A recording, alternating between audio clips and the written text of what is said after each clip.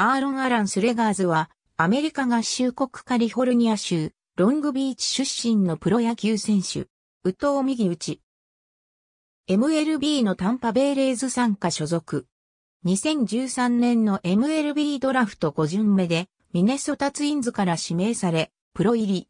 参加のアパラチアンリーグのルーキー級、エリザベストンツインズで、プロデビューし、9試合に登板して0勝0敗、防御率0.47、18奪三振を記録した。2014年は A 級シーダーラピッツカーネルズで開幕を迎え、シーズン途中に A 級フォートマイヤーズミラクルに昇格。2チーム合計で23試合に先発登板して9勝8敗、防御率4.35、102奪三振を記録した。2015年は A 級フォートマイヤーズで開幕を迎え、8月に A 級チャタヌーガ・ルックアウツに昇格。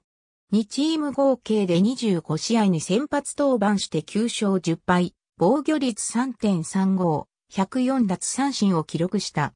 2016年は A 級チャタヌーガで25試合に先発登板して10勝7敗、防御率3.41、104奪三振を記録した。2017年はスプリングトレーニングに招待選手として参加した。シーズンではトリプル A 級ロチェスターレッドウィングスで開幕を迎え、8月17日にメジャーに昇格。同日のクリーブランドインディアンス戦でメジャーデビューを果たしたが、翌日にトリプル A 級ロチェスターに送られた。その後、9月4日に再びメジャーに昇格した。この年はメジャーで4試合に登板して0勝1敗、防御率6.46、9奪三振を記録した。2018年7月5日のボルチモアオリオールズ戦でメジャー初勝利を記録した。この年はメジャーで4試合に登板して1勝1敗、防御率5.27、6奪三振を記録した。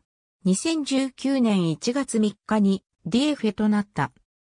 タンパベイレーズ時代2019年1月19日にウェーバー工事を経てピッツバーグパイレーツへ移籍したが、3月28日にメルキー・カブレラ、フランシスコ・リリアーノ、JB シャックのメジャー契約に伴って DF となり、30日に金銭とのトレードでタンパベレーズへ移籍した。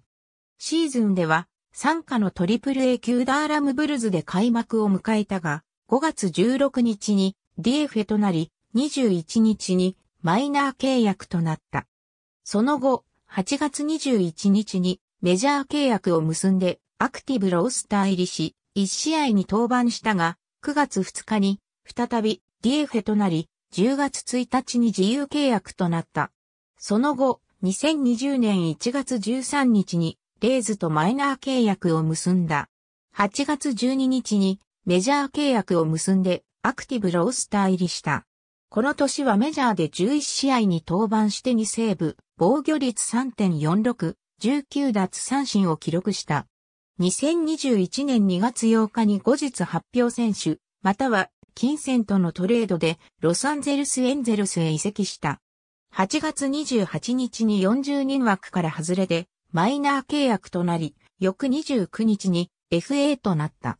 2021年8月31日にレイズと2年間のマイナー契約を結んだ。ありがとうございます。